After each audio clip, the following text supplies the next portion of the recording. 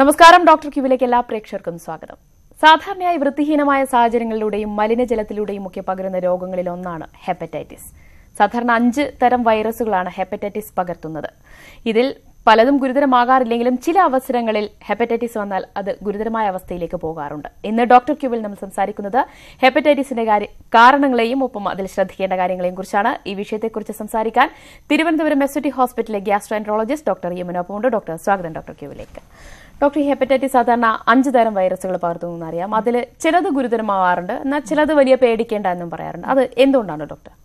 അതായത് ഹെപ്പറ്റൈറ്റിസ് നമ്മൾ കോമൺ ആയിട്ട് കണ്ടുവരുന്ന ഹെപ്പറ്റൈറ്റിസ് ഹെപ്പറ്റൈറ്റിസ് എന്ന് വെച്ചാൽ കരൽ വീക്കം. കരളിലെ കോശങ്ങൾക്കുണ്ടാകുന്ന വീക്കമാണ് ഹെപ്പറ്റൈറ്റിസ് പക്ഷെ അതിന്റെ കാരണങ്ങളിൽ ഒരു ഗ്രൂപ്പാണ് ഈ വൈറസുകൾ എന്ന് പറഞ്ഞത്. ഓക്കെ അതിൽ തന്നെ അക്യൂട്ട് ഹെപ്പറ്റൈറ്റിസും ഉണ്ട് ക്രോണിക് ഹെപ്പറ്റൈറ്റിസും ഉണ്ട്. അക്യൂട്ട് ഹെപ്പറ്റൈറ്റിസ് എന്ന് പറഞ്ഞാൽ നമ്മൾ സാധാരണ പറയുന്നില്ല പനി മഞ്ഞപ്പിത്തം. ആ രീതിയിൽ പെട്ടെന്ന് വന്ന് മിക്കവാറും പേഷ്യൻസിന് കോംപ്ലിക്കേഷൻസിലേക്ക് പോവാതെ ഭേദമാകുന്നത് അല്ല രണ്ടാമത്തെ തരമാണ് ക്രോണിക് ഹെപ്പറ്റൈറ്റിസ് ഹെപ്പറ്റൈറ്റിസിന് വേറെ ഒരുപാട് റീസൺസ് ഉണ്ട്. അതിൽ ആൽക്കഹോൾ പിന്നെ ചില ഡ്രഗ്സ് ടോക്സിൻസ് പിന്നെ ഓട്ടോഇമ്യൂൺ ഈ വൈറസ് ബാധ മാത്രമല്ല അല്ലേ? കരൾ ബാധ മാത്രമല്ല. അത് ഗ്രൂപ്പ് ഓഫ് ഹെപ്പറ്റൈറ്റിസ് ആണ്. ഹെപ്പറ്റൈറ്റിസ് എന്ന് വെച്ചാൽ ഈ പറഞ്ഞ കരൾ കോശങ്ങൾക്കുണ്ടാകുന്ന വീക്കം. അതിന് കാരണങ്ങളിൽ ഒരു ഗ്രൂപ്പാണ് വൈറസുകൾ പക്ഷേ ഡോക്ടർ ഈ ഹെപ്പറ്റൈറ്റിസ് ഏത് രീതിയിൽ വന്നാൽ അതിന്റെ ഒരു പ്രധാന ലക്ഷണം മഞ്ഞപ്പിത്തമായിരിക്കും അല്ലേ? മഞ്ഞപ്പിത്തം പക്ഷേ ക്രോണിക് ഹെപ്പറ്റൈറ്റിസ് മാത്രമാണോ? അത് ഞാൻ പറഞ്ഞത് അക്യൂട്ട് ഹെപ്പറ്റൈറ്റിസിൽ നമ്മളിത് മഞ്ഞപ്പിത്തമായിട്ട് മാനിഫെസ്റ്റ് ചെയ്യാം. പക്ഷേ ക്രോണിക് ഹെപ്പറ്റൈറ്റിസ് എന്ന് പറഞ്ഞാൽ വർഷങ്ങളോളം ഈ വൈറസ് ലിവറിലോ അല്ലെങ്കിൽ നമ്മുടെ മറ്റുള്ള കോശങ്ങളിലോ കിടന്നിട്ട് ഈ ലിവറിൽ ഇൻഫ്ലമേഷൻ ഉണ്ടാക്കിക്കൊണ്ടിരിക്കുമ്പോൾ പലപ്പോഴും ആദ്യം രോഗലക്ഷണങ്ങൾ പ്രകടമാകണം എന്നില്ല. അതാണ് ക്രോണിക് ഹെപ്പറ്റൈറ്റിസിന്റെ കാരണം വൈറസ് മാത്രമാണ്? ക്രോണിക് ഹെപ്പറ്റൈറ്റിസ് ബി സി ഉണ്ട്. പിന്നെ അല്ലാതെ ഒരുപാട് റീസൺസ് ഉണ്ട്. ഈ പറഞ്ഞ ഓട്ടോമിൻ ഹെപ്പറ്റൈറ്റിസ് അതൊക്കെ ക്രോണിക് ഹെപ്പറ്റൈറ്റിസ് ഗ്രൂപ്പിലാണ് വരുന്നത് ഓക്കെ ഡോക്ടർ ഈ വൈറസുകൾ നമുക്ക് ഏതൊക്കെ രീതിയിൽ അല്ലെ ഏതൊക്കെ മാർഗങ്ങളിലൂടെ നമുക്ക് നമ്മുടെ ശരീരത്തിൽ എത്തിച്ചേരാം? നമ്മൾ പറഞ്ഞല്ലോ ഈ അഞ്ച് തരം വൈറസുകൾ ഉള്ളതിൽ ഹെപ്പറ്റൈറ്റിസ് എയും ഇയും ഈ വൈറസുകൾ നമ്മുടെ ഫുഡിൽ കൂടിയും കണ്ടാമിനേറ്റഡ് ആയിട്ടുള്ള ഫുഡ് വാട്ടർ അതുവഴിയാണ് പകരുന്നത്. മറ്റു തരം ഇപ്പോൾ ഹെപ്പറ്റൈറ്റിസ് ബി സി അതൊക്കെ നമ്മുടെ ഈ ബോഡി ഫ്ലൂയിഡ്സിൽ കൂടിയാണ് പകരുന്നത്. ഓക്കെ ബോഡി ഫ്ലൂയിഡ്സ് എന്ന് പറയുമ്പോൾ അത് എന്തും ആകാം അതെ അമ്മയിൽ നിന്ന് കുഞ്ഞിലേക്കുള്ള ട്രാൻസ്മിഷൻ അല്ലെങ്കിൽ ഓൾറെഡി രോഗബാധിതരായ രോഗികളിൽ നിന്ന് മറ്റുള്ളവരിലേക്കുള്ള ട്രാൻസ്മിഷൻ ഹെപ്പറ്റൈറ്റിസ് എയും ഇയും ഒരാളിൽ നിന്ന് മറ്റൊരാളിലേക്ക് പോകില്ലേ? ഈ മലിനജലത്തിലൂടെയും ആ ഒരു കോണ്ടാക്റ്റിലൂടെ മാത്രമേ പോവുള്ളൂ. അതെ മലിനജലത്തിലോ ഫുഡിലോ ഐ മീൻ അതെ. ഡോക്ടർ ഈ സാധാരണ ഈ വെള്ളത്തിൽ കാണുന്ന ഈ കോളി ബാക്ടീരിയകൾ ഉണ്ടല്ലോ അതിനോടൊപ്പമാണോ ഈ ഹെപ്പറ്റൈറ്റിസ് എയും ഇയും ഒക്കെ ഉണ്ടാവുക? അത് ഏതൊക്കെ രീതിയിൽ ഈ വെള്ളം തിളപ്പിക്കാതെ കഴിക്കും? അതെ നമ്മൾ കണ്ട അതായത് ഈ പ്രത്യേകതരം വൈറൽ ഹെപ്പറ്റൈറ്റിസ് ഉള്ള പേഷ്യൻസിന്റെ വിസർജ്യം നമ്മുടെ ഫുഡ് അല്ലെങ്കിൽ വാട്ടറിൽ കൂടി കണ്ടാമിനേറ്റഡ് ആവുമ്പോൾ അത് റിസീവ് ചെയ്യുന്ന പേഷ്യൻസിന് വരും.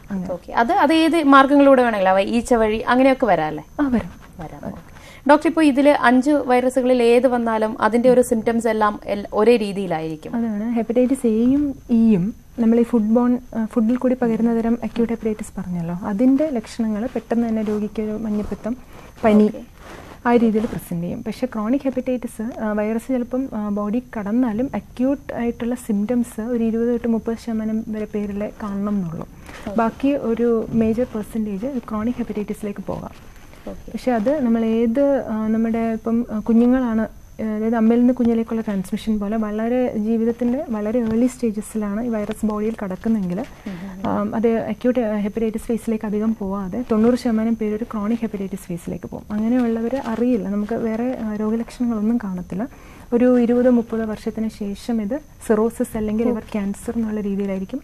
മാനിഫെസ്റ്റ് ചെയ്യുന്നത് ഓക്കെ അതല്ലാതെ മറ്റൊരു സിംറ്റമോ മറ്റു ബുദ്ധിമുട്ടുകളോ ഒന്നും തന്നെ ഉണ്ടാവണം എന്നില്ല ഇല്ല. അക്യൂട്ട് ഹെപ്പറ്റൈറ്റിസ് ആയിട്ട് വരുന്നെങ്കിലാണ് നമ്മൾ ഈ പറഞ്ഞ നമ്മൾ ഈ പ്രതീക്ഷിക്കുന്ന രോഗലക്ഷണങ്ങൾ കാണുന്നത്. അതാണ് ക്രോണിക് ഹെപ്പറ്റൈറ്റിസ് നമ്മളിപ്പോൾ July twenty eighth world hepatitis day ആയിട്ട് ആചരിക്കാൻ തന്നെയുള്ള കാരണം തന്നെ അതാണ്. അതായത് ലോകത്ത് നാനൂറ് ദശലക്ഷം ആൾക്കാർ മുന്നൂറ്റമ്പത് തൊട്ട് നാനൂറ് എന്നുള്ളതാണ് കണക്ക്. അത്രയും ആൾക്കാർ ഹെപ്പ പല രീതിയിലുള്ള ഹെപ്പറ്റൈറ്റിസ് രോഗബാധിതരായിട്ടുണ്ട്. പക്ഷേ അതിൽ ഒമ്പത് ശതമാനം പേർക്കേ ഈ കാര്യം അറിയുള്ളൂ. അറിയുക അവർ അവർ അവർ ഈ വൈറസ് അവരുടെ ബോഡിയിൽ ഉണ്ടെന്നുള്ളത് തിരിച്ചറിയുകയും അതിന് ട്രീറ്റ്മെന്റ് എടുക്കുകയും ചെയ്യുന്ന ഒരു ഒമ്പത് ശതമാനം പേരേ ഉള്ളൂ എന്നുള്ളതാണ് രോഗ ലോകാരോഗ്യ സംഘടന കണ്ടുപിടിച്ചിരിക്കുന്നത്. അപ്പോൾ അതുകൊണ്ട് ആൾക്കാർക്ക് ഒരു അവബോധം ഉണ്ടാക്കാൻ. അതായത് എപ്പോഴും ഹെപ്പറ്റൈറ്റിസ് എന്ന് പറഞ്ഞാൽ മഞ്ഞപ്പിത്തമായിട്ട് കാണണമെന്നില്ല. ഇത് ബോഡിയിൽ ലിവറിൽ ഇങ്ങനെ ഇത് സിംറ്റംസ് ഇല്ലാതെ ഇരുന്നിട്ട് ഭാവിയിൽ കോംപ്ലിക്കേഷൻസ് ഉണ്ടാക്കും. അതുകൊണ്ട് സ്ക്രീനിങ്ങിനും പ്രതിരോധത്തിനും ഊന്നൽ കൊടുത്തുകൊണ്ടാണ് നമ്മൾ ഈ ഇടയ്ക്ക് വേൾഡ് ഹെപ്പറ്റൈറ്റിസ് ഡേ ആഘോഷിച്ചത്. ശരി ഡോക്ടർ നമുക്ക് മറ്റ് സംശയങ്ങളിലേക്ക് ഡോക്ടർ ക്യൂവിലേക്ക് വീണ്ടും. ഡോക്ടർ സാധാരണ നമ്മുടെ നാട്ടിൽ കണ്ടുവരുന്നത് ഒന്ന് വൈറസ് എയും ഹെപ്പറ്റൈറ്റിസ് എയും ഇയും ആണെന്ന് പറഞ്ഞല്ലോ. അതിന്റെ ഒരു ലക്ഷണങ്ങൾ പ്രാരംഭ ലക്ഷണങ്ങളൊക്കെ ഏത് രീതിയിലായിരിക്കും? ഹെപ്പറ്റൈറ്റിസ് എയും ഇയും അക്യൂട്ട് ഹെപ്പറ്റൈറ്റിസ് ആയിട്ട് പ്രസന്റ് ചെയ്യും. അതായത് ഒരു ഷോർട്ട് ഇൻക്യുബേഷൻ പീരീഡിന് ശേഷം പേഷ്യന്റ് വരാൻ വരുന്നത് പനി മേലുവേദന ഛർദിൽ അല്ലെങ്കിൽ ഓക്കാനം പിന്നെ അതിന് കൂടെ മഞ്ഞപ്പിത്തം. ഈ രീതിയിലാണ് പ്രസന്റ് ചെയ്യുന്നത്. മിക്കവാറും പേഷ്യൻസ് ഒരു പ്രോപ്പർ ഇമ്മ്യൂണിറ്റി ഉള്ള വേറെ അസുഖങ്ങളും പ്രശ്നങ്ങളൊന്നും ഇല്ലാത്ത പേഷ്യൻസ് മിക്കവരും അതിൽ നിന്ന് റിക്കവർ ചെയ്യുകയും ചെയ്യും. അതായത് അതിന് വലിയ ട്രീറ്റ്മെന്റ് വേണ്ടെന്നാണോ ഡോക്ടർ സപ്പോർട്ടീവ് കെയർ മാത്രമേ ഉള്ളൂ. സപ്പോർട്ടീവ് കെയർ എന്ന് പറയുമ്പോൾ ഏത് രീതിയിലുണ്ടാവില്ല നമ്മൾ പേഷ്യന്റ് ഏത് രീതിയിൽ? സിംറ്റമാറ്റിക് ആയിട്ട്. പേഷ്യന്റ് ഇപ്പം പനി ഛർദ്ദൽ ഞാൻ പറഞ്ഞല്ലോ ഡിഹൈഡ്രേഷൻ ആ രീതിയിലുള്ള കാര്യങ്ങൾ പിന്നെ നമ്മൾ ലിവർ ഫംഗ്ഷൻ ടെസ്റ്റിൽ ഒബ്സർവ് ചെയ്തിട്ട് വേണ്ട രീതിയിൽ പേഷ്യന്റിന് ഒരു സപ്പോർട്ടീവ് കെയർ കൊടുക്കുന്നു. പ്രത്യേകിച്ച് ഈ വൈറസിനായിട്ട് ഒരു പ്രത്യേക മരുന്ന് അങ്ങനെ ആവശ്യമില്ല. ഡോക്ടർ ഇപ്പോൾ എ ആണെങ്കിലും അതും സിവിയർ സ്റ്റേജിലോട്ട് പോകുന്ന സിറ്റുവേഷൻസ് ഉണ്ടാവില്ലേ? ഉണ്ടാവും. അത് അത് ഏതൊക്കെയാണ് ഡോക്ടർ? സിറ്റുവേ അക്യൂട്ട് ലിവർ ഫെയിലിയറിലേക്ക് പോകാം. ചില കേസുകളിൽ പ്രത്യേകിച്ചും അത് ഗർഭിണികളിലൊക്കെയാണ് ഈ ഹെപ്പറ്റൈറ്റിസ് സിക്ക് കുറച്ച് പ്രാധാന്യം കൂടുതലുള്ളത്. ആ രീതിയിൽ കോംപ്ലിക്കേഷൻസ് വരാവുന്നത്. അത് അതപ്പോൾ അവർക്ക് അതിന്റെതായ ട്രീറ്റ്മെന്റ് വേറെ രീതിയിലായിരിക്കും. അതെ ആണ്. ഇപ്പോ ബിയും സിയും ആണ് ഏറ്റവും സിവിയർ ആയിട്ട് പോവുക എന്ന് പറഞ്ഞു. അതിന്റെ ഒരു സിവിയർ സ്റ്റേജ് എങ്ങനെയായിരിക്കും ഡോക്ടർ ഏതൊക്കെ രീതിയിലായിരിക്കും ഒരു രോഗി ചില ഒരു കുറച്ച് കേസുകൾ ഹെപ്പറ്റൈറ്റിസ് ബിയുടെ കേസിലാണെങ്കിൽ നമ്മളൊരു തേർട്ടി പെർസെന്റ് ഓഫ് ദി ആൾക്കാർക്ക് മുപ്പത് ശതമാനം ആൾക്കാർക്ക് ഇത് അക്യൂട്ട് ഹെപ്പറ്റൈറ്റിസ് ആയിട്ട് പ്രസന്റ് ചെയ്യാം. ബാക്കി ഉള്ള ഒരു മെജോറിറ്റി ഓഫ് ദി ആൾക്കാർക്കും ഇത് കുറച്ച് പേര് അതായത് ഇപ്പോൾ അഡൽട്ടിന് വരുന്നെങ്കിൽ ഒരു ഫിഫ്റ്റി പെർസെന്റ് ഓഫ് ദി ആൾക്കാർ ഇതിൽ നിന്ന് റിക്കവർ ചെയ്യുന്നു. പക്ഷേ ഈ ക്രോണിക് ഫേസിലേക്ക് പോകുന്ന അതായത് ഒരു ആറ് മാസത്തിൽ കൂടുതലൊക്കെ വൈറസ് ബോഡിയിൽ റിമെയിൻ ചെയ്യുമ്പോൾ അതൊരു പതിനഞ്ച് ഇരുപത് വർഷങ്ങൾക്ക് ശേഷമായിരിക്കും. ഒരു ഈ പറഞ്ഞ പോലെ സിറോസിസ് അല്ലെങ്കിൽ ലിവർ ക്യാൻസർ വന്നിട്ട് അതിന്റെ കോംപ്ലിക്കേറ്റഡ് സ്റ്റേജിൽ എത്തുമ്പോഴായിരിക്കും രോഗിയിൽ ലക്ഷണങ്ങൾ പ്രകടമാവുന്നത്. അതുവരെ ഈ ഇൻഫെക്റ്റഡ് ആയിട്ടുള്ള ആൾ അറിയില്ല. അതെ അതെ നമുക്കൊരു അതുകൊണ്ടാണ് അതിനൊരു കോൾ ഉണ്ട് ഡോക്ടർ ഹലോ ഹലോ ഇത് കോഴിക്കോട് നിന്നാണ് അനിൽകുമാർ ഡോക്ടറോട് എന്റെ പേര്. എന്റെ ചോദിച്ചോളൂ. മകന് വേണ്ടിയാണ് വിളിക്കുന്നത് അനിൽകുമാർ ഹലോ. പറയൂ ഹലോ? പറഞ്ഞോളൂ അനിൽകുമാർ കേൾക്കാം. ആ ആ അനിൽകുമാർ ആണ് പേര്. മാനവിന് എന്റെ മകൻ മാനവിന് വേണ്ടിയാണ് വിളിക്കുന്നത്. അവന് പിന്നെ ഈ കഴിഞ്ഞ മാസം ജൂലൈ ഒമ്പതാം തീയതിയാണ് ഹെപ്പറ്റൈറ്റിസ് എ ബാധിച്ചത്. കഴിഞ്ഞ മാസം. കഴിഞ്ഞ മാസം. ഒരു വീട്ടു താമസത്തിന് പോയിട്ട് ഭക്ഷണം കഴിച്ചതിന്റെ ഭാഗമായിട്ട് പ്രദേശത്ത് എല്ലാവർക്കും ഉണ്ടായിരുന്നു അതിന്റെ ഭാഗമായിട്ട് എന്റെ മകനും വന്നു. പക്ഷെ ഇപ്പോഴും S G O T S G P T കുറയുന്നില്ല. അത് അറുന്നൂറ് വരെ വന്നിരുന്നു. ഇപ്പൊ അത് നൂറ്റി അറുപത്തെട്ടിലാണ് എഫ് ജി ഒ ടി നിൽക്കുന്നത്. എഫ് ജി പി ടി നിൽക്കുന്നത്. ആറിലാണ് നൂറ്റി അറുപത്തെട്ട് അതെ. എഫ് ജി പി ടി പക്ഷെ അത് കുറഞ്ഞ് ഇപ്പൊ കറക്റ്റ് ഒരു മാസമാണോ ആയത് ഒരു മാസമല്ലല്ലോ കഴിഞ്ഞ ഒമ്പത് ജൂലൈ ഒമ്പതല്ലേ? ഇതിപ്പോ പിന്നെ അല്ല ജൂൺ ഒമ്പത് സോറി. ജൂൺ ഒമ്പതായല്ലോ. രണ്ട് മാസം ഏതാണ്ട് രണ്ട് മാസം ജൂൺ ഒമ്പത്.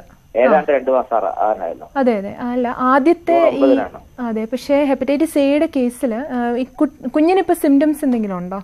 കുഞ്ഞ് എങ്ങനെ ആരോഗ്യമായിട്ടിരിക്കുകയാണോ? ഇല്ല കുഴപ്പമൊന്നുമില്ല. അയാൾ പിന്നെ പത്തൊമ്പത് വയസ്സുള്ള ആളാണ്. ഇപ്പം പിന്നെ കോളേജിലൊക്കെ പോകുന്നുണ്ട്. ഭക്ഷണമൊക്കെ ശരിയായ രീതിയിൽ കഴിക്കുന്നുണ്ട്. ഓക്കെ. ആ ബിലറൂബിന്റെ അളവ് എത്രയുണ്ട്? ബിലറൂബിൻ നോർമലായി. നോർമലായി. ആ നോർമലാണ്. Okay okay. അപ്പോൾ പിന്നെ എൻസൈംസ് മാത്രമാണ് ഇനി കുറഞ്ഞു വരാനുള്ളത്. അത് പക്ഷേ സമയമെടുക്കും. ഒരു മൂന്ന് മാസം വരെ സമയം എടുക്കാറുണ്ട്. പേഷ്യന്റ് ക്ലിനിക്കലി റിക്കവർ ചെയ്തെങ്കിൽ ഇപ്പോൾ ഒരു പാനിക് സിറ്റുവേഷൻ ഇല്ല. വെയിറ്റ് ചെയ്യാവുന്നതേ ഉള്ളൂ. മരുന്ന് കണ്ടിന്യൂ ചെയ്യേണ്ടി വരും. ഓക്കെ. ഡോക്ടർ ഇതിപ്പോൾ എയും ഇ ആണെങ്കിലും ഈ തരത്തിലുള്ള ബ്ലഡിൽ ഇത്തരത്തിലുള്ള മാറ്റങ്ങളൊക്കെ വരുന്നത് സ്വാഭാവികമാണോ? അതെ അതെ. അത് ഈ നമ്മുടെ അക്യൂട്ട് ഹെപ്പറ്റൈറ്റിസ് പ്രോസസ്സിന്റെ ഭാഗമായിട്ട് വരുന്ന ചേഞ്ചസ് ആണ്. അതൊരു സർട്ടൻ ടൈം എടുത്ത് പതുക്കെ അത് കുറഞ്ഞു വരുള്ളൂ ഓക്കെ. ലിവർ സെൽസിനുണ്ടാകുന്ന വീക്കം നീർവീക്കം പോലെ വീക്കം ഉണ്ടാകുന്നതല്ലേ അത് സബ്സൈഡ് ചെയ്ത് വരാൻ ഒരു എയ്റ്റ് ടു ട്വൽവ് വീക്സ് എടുക്കാറുണ്ട് സാധാരണ. അപ്പോൾ അതിന്റെ ഒരു ട്രീറ്റ്മെന്റും അല്ലെങ്കിൽ ഈ ഡോക്ടർ പറഞ്ഞതുപോലെ ഈ സപ്പോർട്ടീവ് കെയർ എത്ര നാൾ വരെ നമുക്ക് കൊണ്ടുവരും ഒരാൾ നോർമൽ ആവുന്നത്? പക്ഷേ പേഷ്യന്റ് റിക്കവർ ചെയ്യുന്ന റേറ്റ് അനുസരിച്ചാണ്. പലപ്പോഴും ഒരു ത്രീ മന്ത്സ് വരെയൊക്കെ ട്രീറ്റ്മെന്റ് വേണ്ടി വരും. ഓക്കെ ത്രീ മന്ത്സ് വരെ ഈ ഒരു സപ്പോർട്ടീവ് കെയറും കാര്യങ്ങളും ബാക്കി ബിൽറൂബിന്റെ അളവും എല്ലാം മോണിറ്റർ ചെയ്യേണ്ടി വരും. അതെ. ഓക്കെ ഇതിപ്പോ പരിശോധിക്കുന്ന രീതിയും ഓരോ വൈറസിനും ഓരോ രീതികളാണോ? ഡോക്ടർ ഹെപ്പറ്റൈറ്റിസ് എ ആയാലും ഇ ആയാലും അതെ അതെ അതെ. ആണ്. ഹെപ്പറ്റൈറ്റിസിന് അതിന്റെതായ ആന്റിബോഡീസ് ഉണ്ട് ബ്ലഡിൽ അപ്പൊ അപ്പോൾ അത് നമ്മൾ ടെസ്റ്റ് ചെയ്തിട്ടാണ് രോഗം സ്ഥിരീകരിക്കുന്നത്. ഓക്കെ ഡോക്ടർ നമുക്ക് ഒരു കോൾ കൂടി. Hello hello doctor Yamuna doctor അല്ലേ അതെ അതെ. ആ പറയും. ഞാൻ തിരുവല്ലായി മൂളിയാണ്. എന്റെ മകൻ സോനു ഇരുപത് വയസ്സായി ഇപ്പോ ആ. നാലര വയസ്സിലെ ഇഞ്ചക്ഷനിലൂടെ ഹെപ്പറ്റൈറ്റിസ് ബി കിട്ടിയതാണ്. അന്ന് കോട്ടയം ഇ എസ് ആശുപത്രി ഒരാഴ്ച കിടന്നു. അത് കഴിഞ്ഞെല്ലാം നോർമലായി ഇപ്പം കുഴപ്പമൊന്നുമില്ല എങ്കിലും നാലര വയസ്സിൽ കോഴിയിറച്ചി മുട്ടയൊക്കെ കൂട്ടാവോ എന്നറിയാനാണ്. നാലര വയസ്സിൽ ഹെപ്പറ്റൈറ്റിസ് ബി വന്നോ കുഞ്ഞിന്? വന്നു? ഇഞ്ചക്ഷനിലെടുത്ത അത് മഞ്ഞപ്പിത്തമായിട്ട് മഞ്ഞപ്പിത്തമായിട്ട് വന്നിരുന്നോ? എങ്ങനെ അറിഞ്ഞു പനിയൊക്കെ ആയിട്ടാണ് വന്നത്. ഛർദിയും പനിയൊക്കെ ആയിട്ടാണ്. ഓക്കെ അന്ന് മഞ്ഞനോവ് ഉണ്ടായിരുന്നോ മഞ്ഞാറം ഉണ്ടായിരുന്നു.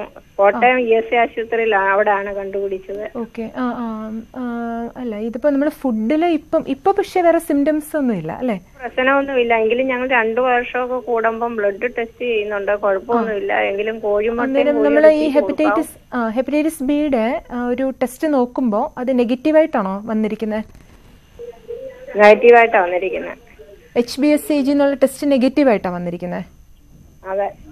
ഓക്കെ. പക്ഷെ ഒരു ടെൻഷൻ. അതെ അതെ. അല്ല ഈ പിന്നെ ഫുഡുമായിട്ട് ഇതിന് പ്രത്യേകിച്ച് ബന്ധമില്ല. അതുകൊണ്ട് ഫുഡിന് റെസ്ട്രിക്ഷൻസ് ഒന്നുമില്ല. ഇല്ല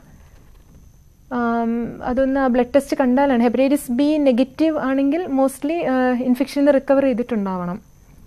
പക്ഷെ കുഞ്ഞ് കുഞ്ഞിലെ കിട്ടിയതായതുകൊണ്ട് എലൈസ ടെസ്റ്റ് വഴി അത് കൺഫേം ചെയ്യേണ്ടി വരുമെന്ന് തോന്നുന്നു. ഏതായാലും മുട്ടയും ഇറച്ചിയും കഴിക്കുന്നതിനൊന്നും ഇപ്പോൾ റെസ്ട്രിക്ഷൻസ് ഒന്നുമില്ല. ശരി. ഡോക്ടർ നമുക്ക് ഒരു കോൾ കൂടി. Hello hello? ഡോക്ടറോട് ചോദിച്ചോളൂ. ആ ഡോക്ടറെ? ഹലോ ഡോക്ടർ പറഞ്ഞോളൂ കേക്കാം ആ ഗുഡ് ആഫ്റ്റർനൂൺ. ഞാൻ ഉദയകുമാർ അമരവിളയിൽ നിന്നാണേ. അപ്പൊ ഞാൻ ചോദിക്കുന്നത് എനിക്ക് ഹെപ്പറ്റൈറ്റിസ് സി ഒരു നാല് വർഷത്തിന് മുമ്പ് വന്നിരുന്നേ. Hepatitis C. സി.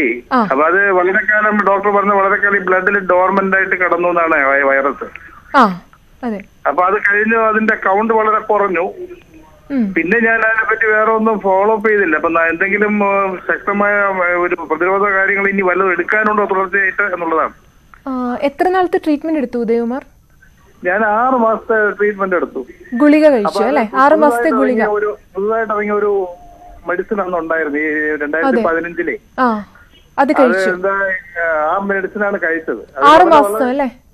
ആറ് മാസത്തെ അതെ ആറ് മാസം കഴിച്ചു. കഴിച്ചതിന് ശേഷം നമ്മൾ ഈ ഹെപ്പറ്റൈറ്റിസ് വൈറസിന്റെ കൗണ്ട് നോക്കിയിരുന്നോ? ഹെപ്പറ്റൈറ്റിസ് സി വൈറസിന്റെ കൗണ്ട് ചെക്ക് ചെയ്തിരുന്നോ ബ്ലഡിൽ ബ്ലഡ് മൂന്ന് മാസം കഴിഞ്ഞപ്പോൾ തന്നെ ഏകദേശം ഇരുപത്തി മൂന്നൊക്കെ അപ്പൊ അത് നെഗ്ലിജിബിൾ ആണ്. അപ്പൊ ഇനി അത് എടുക്കേണ്ട. ഒരു മൂന്ന് മാസം കൂടെ മരുന്ന് കണ്ടിന്യൂ ആയിട്ട് നിർത്തിക്കൊള്ളാം അപ്പൊ നമ്മൾ നിർത്തിയ സമയത്ത് വീണ്ടും ചെക്ക് ചെയ്ത് നെഗറ്റീവ് ആണെന്ന് ഉറപ്പ് വരുത്തിയിട്ടുണ്ടോ?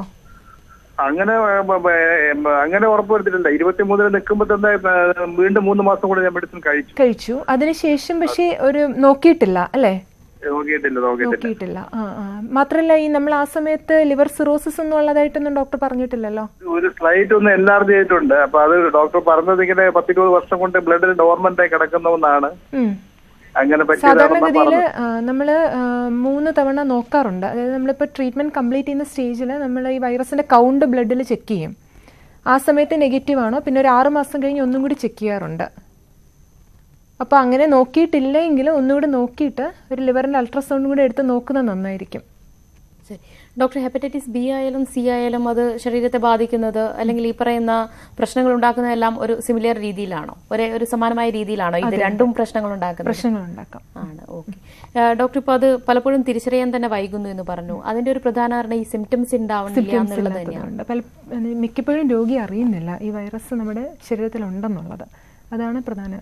പിന്നെ ഏത് ഏത് സ്റ്റേജിലായിരിക്കും പിന്നെ നമ്മൾ അതൊരു തിരിച്ചറിയുന്ന അല്ലെങ്കിൽ അതൊരു ടെസ്റ്റ് ചെയ്യുന്ന ഒരു രീതി സിറോസിസ് ആയാൽ പോലും ഇനിഷ്യൽ സ്റ്റേജസിൽ ലിവറിന്റെ ഫംഗ്ഷൻ ഒരു തൊണ്ണൂറ് ശതമാനം വരെ പ്രോബ്ലം വന്നു കഴിഞ്ഞിട്ടേ സിംറ്റംസ് വരുള്ളൂ അപ്പൊ ഈവൻ ഇനിഷ്യൽ സ്റ്റേജസ് ഓഫ് സിറോസിസിൽ പോലും നമ്മൾ സാധാരണ സിറോസിസിനെ മൂന്ന് സ്റ്റേജ് ആയിട്ട് തിരിക്കും. അതിൽ ചൈൽഡ് എ എന്ന് പറയുന്ന ആദ്യത്തെ സ്റ്റേജിൽ പ്രത്യേകിച്ച് സിംറ്റംസ് ഒന്നും ഉണ്ടാവില്ല പേഷ്യന്റിന് ആ. സമയത്ത് നമ്മൾ വേറെ എന്തെങ്കിലും ഒരു കാരണത്തിന് വേണ്ടി അൾട്രാസൗണ്ട് എടുക്കുമ്പോഴായിരിക്കും. ഇത് പറഞ്ഞ ഇങ്ങനെ സിറോസിസ് ഉണ്ടെന്നും. പിന്നെ സിറോസിസിന്റെ കാരണങ്ങൾ അന്വേഷിച്ച് വരുമ്പോഴായിരിക്കാം പലപ്പോഴും ഇതിന് ഹെപ്പറ്റൈറ്റിസ് ബിയും സി ഒക്കെ ആണെന്ന് മനസ്സിലാവുന്നത്. അതുപോലെ ലിവർ ക്യാൻസർ ആണെങ്കിലും വളരെ ഏർലി സ്റ്റേജിൽ സിംറ്റംസ് ഉണ്ടാവണം എന്നില്ല. കുറച്ചും കൂടി അഡ്വാൻസ്ഡ് ആയിട്ട് ലിവറിന്റെ ക്യാൻസർ എന്ന് വെച്ചാൽ ട്യൂമർ ആണല്ലോ. അത് ലിവറിന്റെ ഒരു കുറച്ച് ഭാഗത്തിനെ ഒക്യുപ്പൈ ചെയ്തിട്ട് ലിവറിന്റെ ഫംഗ്ഷനിൽ എന്തെങ്കിലും കുറവ് വരുന്ന സമയത്താണ് സിംറ്റംസ് ആയിട്ട് മാനിഫെസ്റ്റ് ചെയ്യത്തുള്ളൂ. അപ്പോഴേക്കും പക്ഷെ പലപ്പോഴും ചികിത്സിക്കുന്ന ഒരു സ്റ്റേജ് കഴിഞ്ഞു പോയിട്ടുണ്ടാവും. പോയിട്ടുണ്ട് ഡോക്ടർ നമുക്കൊരു കോൾ വന്നു. ചെറിയ കുട്ടി ആകുമ്പോഴേ ഹെപ്പറ്റൈറ്റിസ് ബി സി വന്നെന്ന് ബി വന്നെന്ന് പറയുന്നു. ഒന്ന് അമ്മയിൽ നിന്ന് കുഞ്ഞിലേക്ക്. അതല്ലാതെ വേറെ എന്തൊക്കെ ഏതൊക്കെ വഴികളിലൂടെ ഹെപ്പറ്റൈറ്റിസ് ബിയും സിയും എത്താം? ബ്ലഡ് ട്രാൻസ്മിഷൻ കണ്ടാമിനേറ്റഡ് നീഡിൽസ് പിന്നെ ഡയാലിസിസ് പേഷ്യൻസ് ഇവരെല്ലാം ഹൈ റിസ്ക് ആൾക്കാരാണ്. അതുപോലെ തന്നെ ഹെപ്പറ്റൈറ്റിസ് ബി ബി ഒ ഉള്ള രോഗിയുമായിട്ട് അടുത്ത സമ്പർക്കം പുലർത്തുന്നത് ഇൻക്ലൂഡിങ് അവരുടെ സ്പൗസ് അങ്ങനെ ഓക്കെ ശരി. ഇപ്പൊ ഹസ്ബൻഡിൽ നിന്ന് വൈഫ് അങ്ങനെയും വരാം. സാധാരണ ഒരു എച്ച് ഐ വി വൈറസ് പടരുന്നത് പോലെ ആ മാർഗങ്ങളിലൂടെയൊക്കെ വരാം. അതെ അതെ അതെ. ആ മാർഗങ്ങളിലൂടെ എല്ലാം വരാം. ഡോക്ടർ ഇപ്പൊ ബിയും സിയും ആയാലും ഒരുപക്ഷെ ഏറ്റവും കൂടുതൽ ബോധവൽക്കരണം വേണ്ടത് അത് രണ്ടിനും തന്നെയായിരിക്കും. കാരണം അത് പലപ്പോഴും തിരിച്ചറിയപ്പെടാതെ പോകുന്നു എന്ന് പറഞ്ഞു. അതിന്റെ ഒരു സിവിയർ സ്റ്റേജ് ഒന്നുകിൽ ലിവർ സിറോസിസ് അല്ലെങ്കിൽ ലിവർ ക്യാൻസർ എന്നുള്ള ആ ഒരു രണ്ട് സ്റ്റേജിലേക്കാണോ ഇത് ഒന്ന് ചികിത്സിച്ചില്ലെങ്കിൽ തിരിച്ചറിയപ്പെടാതെ പോയാൽ എത്തുക? അതെ അതെ. ഫൈനൽ സ്റ്റേജസിൽ നമുക്ക് പ്രോബ്ലം വരുന്ന ഈ രണ്ട് രീതിയിലാണ്. ഇത് അതുവരെ ചിലപ്പോൾ ചിലർ ഇനാക്റ്റീവ് കാരിയേഴ്സ് ആയിട്ടിരിക്കും. അല്ലെങ്കിൽ ചിലർക്ക് നമ്മൾ ബ്ലഡ് ടെസ്റ്റ് ചെയ്താൽ ലിവർ ഫംഗ്ഷൻ ടെസ്റ്റ് വേരിയേഷൻ കാണും. അവർ ക്രോണിക് ആക്റ്റീവ് കാരിയേഴ്സ് എന്നാണ് നമ്മൾ പറയുന്നത്. ഡോക്ടർ ഈ അഞ്ചു തരം വൈറസ് ഉണ്ടെന്ന് പറഞ്ഞു. ഇതിൽ ഓരോന്നും നമ്മൾ തിരിച്ചറിയാൻ നടത്തുന്ന പരിശോധനാ രീതികൾ എങ്ങനെയാണ് ഡോക്ടർ ഇതിനെല്ലാം നമുക്ക് ആന്റിബോഡീസ് അല്ലെങ്കിൽ സർഫസ് ആന്റിജൻസ് അതായത് ഈ വൈറസിനെല്ലാം അതിന്റെ ഒരു കോട്ടിംഗ് എല്ലാം ഉണ്ട്. അപ്പോൾ അതിനോട് ബോഡിയുടെ റെസ്പോൺസിനെ മെഷർ ചെയ്യുന്ന ആന്റിബോഡി ഓക്കെ അപ്പോൾ ഹെപ്പറ്റൈറ്റിസ് എക്കും ഇക്കും അതിന്റെ ആന്റിബോഡീസ് ഉണ്ട്. ഐ ജി എം ആന്റിബോഡികളുണ്ട് ഹെപ്പറ്റൈറ്റിസ് ബിക്ക് ആണെങ്കിൽ ഹെപ്പറ്റൈറ്റിസ് ബി സർഫസ് ആന്റിജൻ അത് അതെങ്ങനെയാണ്? സാധാരണ ഒരു ബ്ലഡ് ടെസ്റ്റ് മാത്രം മതി.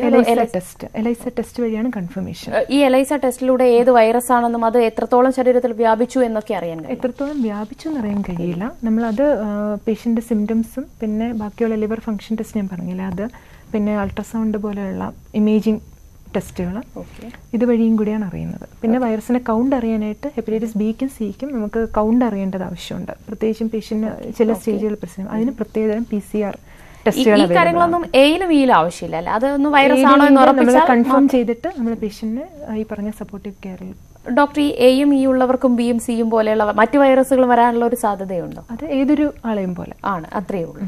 ഓക്കെ ഡോക്ടർ ഇപ്പൊ ഇതൊരു ലിവർ സിറോസിസിലേക്കൊക്കെ പോകുമ്പോൾ ആ സമയത്തുണ്ടാകുന്ന സിംറ്റംസ് ഏത് രീതിയിലായിരിക്കും? ലിവർ സിറോസിസ് ഈ പറഞ്ഞ മൂന്ന് സ്റ്റേജസിൽ വരാമെന്ന് ഞാൻ പറഞ്ഞല്ലോ. അതിൽ ചൈൽഡ് എന്ന് പറയുന്ന സ്റ്റേജ് അതായത് ആദ്യത്തെ സ്റ്റേജിൽ പ്രത്യേകിച്ച് സിംറ്റംസ് ഒന്നും ഉണ്ടാവണം എന്നില്ല. നമ്മൾ വേറെ എന്തെങ്കിലും ഒരു കാര്യത്തിന് വേണ്ടി നോക്കുമ്പോൾ പലപ്പോഴും കണ്ടുപിടിക്കും. രണ്ടാമത്തെ സ്റ്റേജിൽ രണ്ടാമത്തെ സ്റ്റേജും മൂന്നാമത്തെ സ്റ്റേജിലും നമുക്ക് പേഷ്യന്റ് ചിലപ്പോൾ രക്തം ഛർദ്ദിച്ചായിരിക്കും നമ്മുടെ അടുത്ത് വരുന്നത്. രക്തം ഛർദ്ദിക്കുക അല്ലെങ്കിൽ മലം. കറുപ്പ് കളർ അതായത് ബ്ലീഡിംഗ് ഉണ്ടായിട്ട്. രണ്ടാമത് വരാവുന്ന ഒരു പ്രോബ്ലം എന്ന് വെച്ചാൽ വയറ് വീർത്ത് വന്നിട്ട് വയറിൽ ഫ്ലൂയിഡ് കിട്ടുക. അതായത് അസൈറ്റിസ് എന്ന് പറയുന്നത്. മഹോദരം എന്നൊക്കെ പണ്ട് പറയുന്ന തരം. വയറ് വീർത്ത് വന്ന് കാലിലൊക്കെ നീര് വരുന്ന സ്റ്റേജ് അല്ലെങ്കിൽ മഞ്ഞപ്പിത്തമായിട്ട് പിന്നെ ചില കേസിൽ ഹെപ്പാറ്റിക് എൻസെഫലോപ്പതി എന്ന് പറയും. അതായത് ലിവറാണ് നമ്മുടെ മേജർ കെമിക്കൽ ഫാക്ടറി ബോഡിയിൽ അപ്പോൾ അതിൽ പ്രോസ് ഈ നമ്മുടെ ടോക്സിൻസ് എല്ലാം പ്രോപ്പറായിട്ട് ഫിൽറ്റർ ചെയ്യാതെ വരുമ്പോൾ ലിവറിന്റെ കപ്പാസിറ്റി കുറയുമ്പോഴേക്കും ഈ പറഞ്ഞ ഈ മാലിന്യങ്ങളെല്ലാം ബ്രെയിനിലെത്തിയിട്ട് പേഷ്യന്റിന് ഓർമ്മക്കുറവ് അതിന്റെ തന്നെ പല ഗ്രേഡുകളിലേക്ക് പോകാം. ഇൻക്ലൂഡിങ് കോമയിലേക്കോ അല്ലെങ്കിൽ ഡെപ്ത് വരെ ലീഡ് ചെയ്യാവുന്ന രീതിയിൽ പിന്നെ ചില കേസിൽ കിഡ്നിക്ക് പ്രോബ്ലം വന്നിട്ട് മൂത്രം പോവാതെയും ആ രീതിയിലും വരാം. ഓക്കെ ശരി ഡോക്ടർ. ഡോക്ടർ ക്യൂവിലേക്ക് വീണ്ടും. ഡോക്ടർ ഈ പലപ്പോഴും ഈ ഹെപ്പറ്റൈറ്റിസ് ഈ എയും ഇ ഒക്കെ വന്ന് സാധാരണ റെസ്റ്റ് എടുക്കുമ്പോൾ പലരും പറയുന്നുണ്ട് ഭക്ഷണം എരിവ് പുളി അത്യാവശ്യം ഭക്ഷണത്തിൽ ഭയങ്കര കൺട്രോൾ വേണമെന്ന് പറയുന്നുണ്ട്. അതിൽ എന്തെങ്കിലും കാര്യമുണ്ടോ ഡോക്ടർ? ഏറ്റവും കൂടുതൽ പേര് ഞാൻ ചോദിച്ച് കണ്ടിട്ടുള്ളത് മഞ്ഞൾ കഴിക്കുന്നതിന് കുഴപ്പമുണ്ടോ. പിന്നെ ഉപ്പ് ഉപ്പ്. അപ്പൊ സാധാരണഗതിയിൽ അക്യൂട്ട് ഹെപ്പറ്റൈറ്റിസിൽ എന്തായാലും മഞ്ഞളിന് ഒരു റോളും ഇല്ല. പിന്നെ അക്യൂട്ട് ഹെപ്പറ്റൈറ്റിസിൽ ആക്ച്വലി ഉപ്പിനും റോളില്ല സാധാരണ രീതിയിൽ നമ്മൾ കഴിക്കുന്ന ഫുഡ് കഴിക്കാവുന്നതാണ്. നമുക്ക് വേറെ സാധാരണ ഒരു പനിയൊക്കെ വരുമ്പോൾ നമ്മൾ കഴിക്കുന്ന പോലത്തെ അധികം ഓയിലി ഒന്നും അല്ലാത്ത ദഹിക്കാൻ എളുപ്പമുള്ള ഫുഡ് അത്രയേ ഉള്ളൂ. അല്ലാതെ മഞ്ഞളോ ഉപ്പോ കഴിക്കുന്നതിന് റെസ്ട്രിക്ഷൻസ് ഇല്ല. ഹെപ്പറ്റൈറ്റിസിൽ പിന്നെ ചില കേസിൽ ഇപ്പോൾ പേഷ്യന്റ് ഒരു ഫെയിലിയറിലേക്ക് പോവുകയോ അല്ലെങ്കിൽ നമ്മൾ ഈ പറഞ്ഞ പോലെ സിറോസിസ് വന്നിട്ട് പേഷ്യന്റ് നീര് വരുന്ന സ്റ്റേജുകളുണ്ടെന്ന് പറഞ്ഞല്ലോ വയറിലും കാലിലും ഒക്കെ നീര്. ആ സ്റ്റേജിൽ മാത്രമേ ഉപ്പിന്റെ റെസ്ട്രിക്ഷൻസ് പറയാറുള്ളൂ. അത് എയിലും ഇപ്പോൾ ബി എം സി ആണെങ്കിൽ നല്ലൊരു റെസ്ട്രിക്ഷൻ നല്ല നന്നായി ശ്രദ്ധിക്കേണ്ട കാര്യമാണ് ഡോക്ടർ? ആവശ്യമില്ല. ഇല്ല. സിറോസിസ് വന്ന് അതിന്റെ ഒരു ഡീകോമ്പൻസേറ്റഡ് സ്റ്റേജ് മൂർധന്യാവസ്ഥയിലേക്ക് പോകുന്ന അവസ്ഥയിൽ നമ്മൾ ഈ ദേഹത്തുള്ള ഫ്ലൂയിഡിന്റെ അളവും സോഡിയത്തിന്റെ അളവൊക്കെ നോക്കിയിട്ട് പേഷ്യൻസിനെ അഡ്വൈസ് ചെയ്യാറുണ്ട്. അല്ലാതെ ഉള്ള അക്യൂട്ട് ഹെപ്പറ്റൈറ്റിസ് സാധാരണ മഞ്ഞപ്പിത്തം ഇതിലൊന്നും അങ്ങനത്തെ ഒരു ഫുഡ് റെസ്ട്രിക്ഷൻസ് പറയാറില്ല. ഡോക്ടർ ഒരു രണ്ട് മാസം മൂന്ന് മാസത്തെ ഒരു ട്രീറ്റ്മെന്റ് എടുത്തു കഴിഞ്ഞാൽ ഈ ഹെപ്പറ്റൈറ്റിസ് എ വൈറസ് ആയാലും ഈ വൈറസ് ആയാലും അത് കംപ്ലീറ്റ് ആയിട്ട് നമ്മുടെ ശരീരത്തിൽ നിന്ന് കംപ്ലീറ്റ് നീക്കം ചെയ്യാൻ കഴിയും. പക്ഷെ അത് ബിയും സിയിലും അത് പോസിബിൾ അല്ലേ? ബിയിലും സിക്ക് ഇപ്പോൾ ഹൺഡ്രഡ് പെർസെന്റ് ഇഫക്റ്റീവ് ആയിട്ടുള്ള ninety eight to hundred percent effective ആയിട്ടുള്ള മരുന്നുകൾ അവൈലബിൾ ആണ്. അതായത് ഇപ്പം ഒരു പേഷ്യന്റ് വിളിച്ചിരുന്നു. ഇപ്പം മൂന്ന് മാസം തൊട്ട് three to six months treatment എടുത്തു എന്ന് പറഞ്ഞു. അതുപോലത്തെ ഗുളികകൾ ഇപ്പോൾ അവൈലബിൾ ആണ്. അത് നല്ല ഇഫക്റ്റീവ് ആയിട്ടുള്ള ട്രീറ്റ്മെന്റ് ആണ്. മിക്ക രോഗികളും റിക്കവർ ചെയ്യാറുണ്ട്. കംപ്ലീറ്റ് ആയിട്ട് കംപ്ലീറ്റ് റിക്കവർ ചെയ്യും. ഹെപ്പറ്റൈറ്റിസ് സി പക്ഷേ ഹെപ്പറ്റൈറ്റിസ് ബിയുടെ പ്രോബ്ലം എന്ന് വെച്ചാൽ അത് ഒരിക്കൽ നമ്മുടെ ശരീരത്ത് വന്നു കഴിഞ്ഞാൽ നമ്മൾ ഇൻഫെക്റ്റഡ് ആയി കഴിഞ്ഞാൽ ക്രോണിക് ഹെപ്പറ്റൈറ്റിസ് ഫീസിലേക്ക് പോവുകയാണെങ്കിൽ അതിൽ കംപ്ലീറ്റ് ആയിട്ട് നമുക്ക് hepatitis B surface antigen negative എന്ന് പറയുന്ന അവസ്ഥയിൽ കംപ്ലീറ്റ് ഇതിൽ നിന്ന് റിക്കവർ ചെയ്യുന്നത് ഒരു അഞ്ച് ശതമാനം പേരെ ഉണ്ടാവുള്ളൂ. ബാക്കിയുള്ളവർക്ക് നമ്മൾ പ്രധാനമായിട്ട് ഹെപ്പറ്റൈറ്റിസ് ബിയുടെ ട്രീറ്റ്മെന്റിന് എവിടെയാണ് ഊന്നൽ കൊടുക്കുന്നതെന്ന് വെച്ചാൽ ഇതിനെ കൺട്രോളിൽ നിർത്തുക വൈറസിനെ കൺട്രോളിൽ നിർത്തുക നിർത്തിയിട്ട് നമുക്ക് ഫർദർ കോംപ്ലിക്കേഷൻസ് ഉണ്ടാവാത്ത ഒരു സ്റ്റേജിലേക്ക് കൊണ്ടുപോകുക എന്നുള്ളതാണ്. ശരി ഡോക്ടർ ഒരു കോൾ ഉണ്ട്. ഹലോ ഹലോ ഡോക്ടറോട് ചോദിച്ചോളൂ. ഡോക്ടർ ഞാൻ പൂനെയിൽ നിന്നാണ് വിളിക്കുന്നത്. പുനലൂർ. പൂനെയിൽ നിന്ന് അല്ലേ? പൂനെയിൽ നിന്ന്. ഓക്കെ. എന്റെ മകൾക്ക് വേണ്ടിയിട്ടാണ് മൂന്നര വയസ്സായപ്പം ഇഞ്ചക്ഷനിൽ നിന്ന് ഹെപ്പറ്റൈറ്റിസ് ബി ബാധിച്ചു. ഇപ്പോഴും റിസൾട്ട് പോസിറ്റീവ് തന്നെയാണ്. ഇപ്പൊ ഇരുപത്തൊന്ന് വയസ്സുണ്ട്. ആ. അതിന് എന്തെങ്കിലും ട്രീറ്റ്മെന്റ് ഉള്ളതായിട്ട്? അത് ഇപ്പൊ ഇരുപത്തൊന്ന് വയസ്സല്ലേ? ഇരുപത്തൊന്ന് വയസ്സുണ്ട്. ഓക്കെ.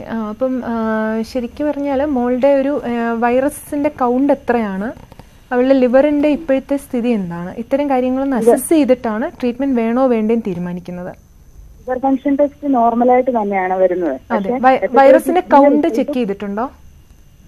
ഇപ്പൊ ചെയ്യാൻ കൊടുത്തിരിക്കുവാ ഇപ്പം ആ അതിന്റെ കൗണ്ടും കൂടെ വന്നതിന് ശേഷം മിക്കവാറും ഇങ്ങനെയുള്ള മിക്കവാറും എനിക്ക് കേട്ടെടുത്തോളം ഇരുപത്തൊന്ന് വയസ്സല്ലേ? കുറച്ച് മിക്കവാറും ഇനാക്റ്റീവ് കരിയർ സ്റ്റേജിലായിരിക്കും എൽ എഫ് ടി നോർമൽ ആണെന്ന് പറഞ്ഞല്ലോ.